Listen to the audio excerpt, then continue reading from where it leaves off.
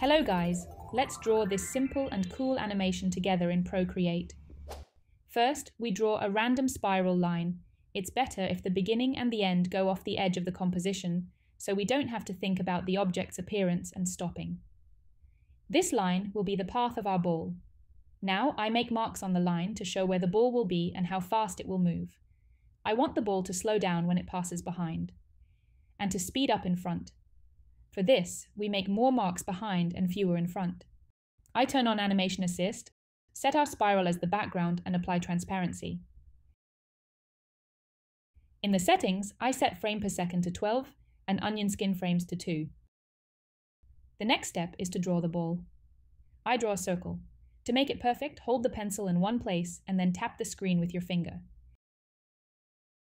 Now we duplicate the ball and place it on the already defined points. Okay, let's speed up here.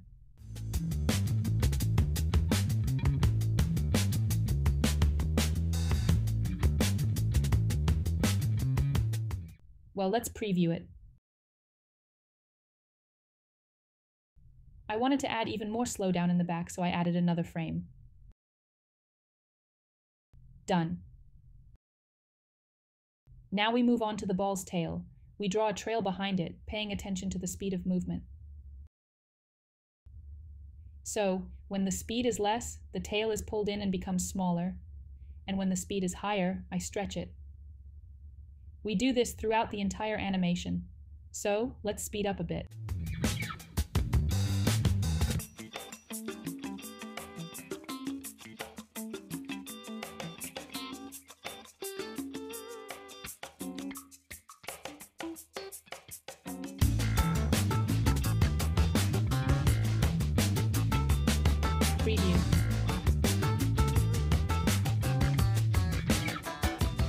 Now my favorite part is adding splashes.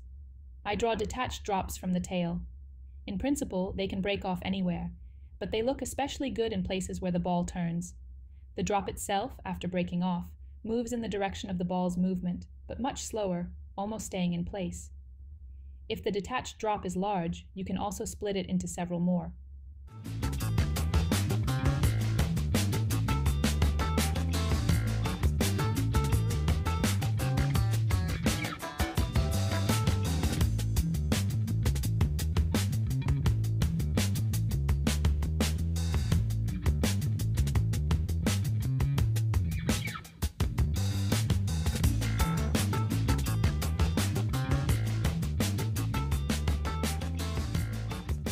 So, the drops are ready.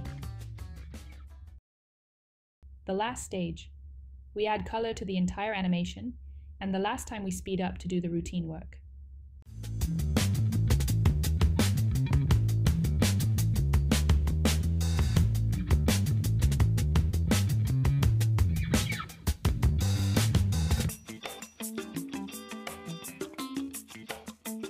Let's see what we've got. I see a couple of missed points. That's better. Guys, a simple and cool animation is ready. Give likes if you were interested. Thanks and see you.